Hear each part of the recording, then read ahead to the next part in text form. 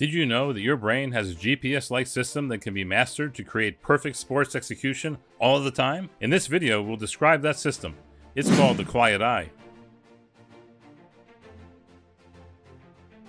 Hello, I'm Dr. Laby. I'm a sports vision specialist with 30 years of experience working with elite and professional athletes, and I'm here to help you perform at your best. It turns out that what you're looking at just before, during, and after you perform the critical task in your sport plays a giant role in your success. It doesn't take long, only a split second, of keeping your eyes still and on target, and that's all that's needed. Initially described by Dr. Joan Vickers in Calgary, Canada, many other researchers have seen the same effect in many different sports.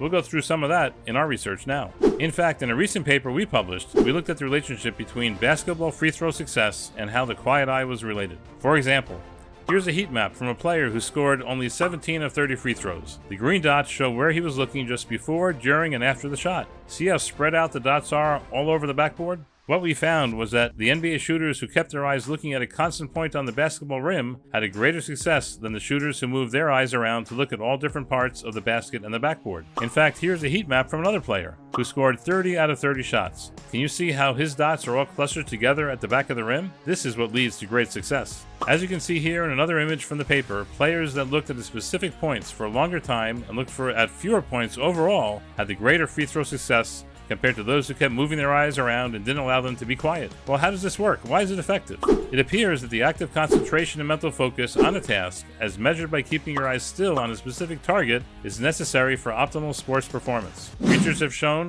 that people who have a better ability to store information in short-term memory, the key to attention and mental focus, have quieter eyes and greater success. In fact, in the second part of this series, we'll explain how to train to use the quiet eye in your sport, but first we need to understand how and why it works. In addition to focus and attention, researchers have seen reduced heart rate as well as better control of muscle movement with the quiet eye technique. Not only can the quiet eye help in sports during the season, it may also help reduce the decline in performance we often see when the stakes in the game increase, times like the last minutes of a match or the final outs of a postseason championship game. By increasing attention and concentration, which is often damaged by increased pressure, the quiet eye can help make sure that your performance is constantly at an optimal level, regardless of the importance of the game or the pressure to perform well. Now let's take a look at what actually is a quiet eye. We talked about basketball free throws, now let's take a look at golf putting for example. In these videos we see the golf ball and the putter as well as two dots, one green and one blue, to show where each eye is looking. In this first video, it's pretty clear that the golfer looks immediately to where he hit the ball, just after contact with the putter and the ball.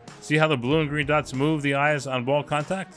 In the second video, though, this player has been trained in the quiet eye. In fact, it's the same golfer as the first video, but now his eyes stay still on the point of contact between the ball and the club for a short time after the ball moves. This is a great example of a quiet eye. So far, we've shown the effect of basketball and golf.